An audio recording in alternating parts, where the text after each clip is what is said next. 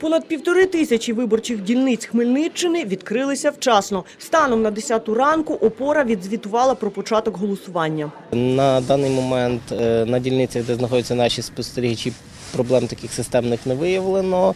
Всі дільниці відкрились. За даними з окружних виборчих комісій, всі дільниці в області теж відкрились, тобто вибори стартували нормально. Утім, без перших порушень все ж не обійшлося. Спостерігачі зафіксували спроби отримати бюлетень без паспорта. Українське законодавство це суворо забороняє. В селах, де присутні наші спостерігачі в сільській місцевості, е, хотіли виборці отримувати.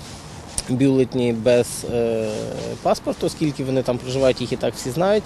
Але за е, вимогою спостерігачів таку практику все ж таки не запровадили. Хоча була одна дільниця, яка пропонувала проголосувати рішенням комісії, щоб дозволяти видачу такого бюлетеню. Але е, спостерігач, все ж таки роз'яснивши норми законодавства, е, дійшов згоди з виборчою комісією, що це буде порушенням і такого не ну, не повинно робитися. Також опорівці зазначили, що у день голосування поки що не зафіксували жодного випадку незаконної агітації. Водночас спостерігач зазначив, банери із характерним фірмовим кандидатським оформленням і закликами на кшталт «Думай, зроби вибір» теж є цілком законними. Тобто, е, з точки зору закону, це е, не є порушенням, але з точки зору, скажімо, ми розуміємо, що кандидати так хитрують, е, скажімо, обходячи законодавство в день виборів.